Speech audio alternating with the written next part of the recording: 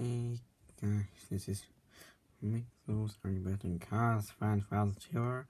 And yep, I saw Thor Ragnarok today and it was awesome. It was a really good movie I enjoyed it. This was also the same cinema as I saw Guardians of the Galaxy Volume 2 and Spider-Man Homecoming.